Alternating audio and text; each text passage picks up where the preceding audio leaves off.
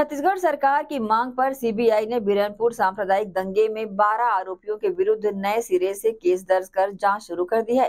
वर्तमान में सभी आरोपी न्यायिक हिरासत में हैं।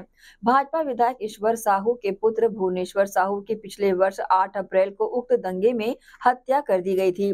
सीबीआई की एफआईआर में नवाब खान, जलील खान, बशीर खान, मुख्तार मोहम्मद, शफीक मोहम्मद, अब्दुल खान, अकबर खान, मोहम्मद जनाब, अयूब खान, निजामुद्दीन, राशिद खान, कल्लू खान के नाम शामिल हैं।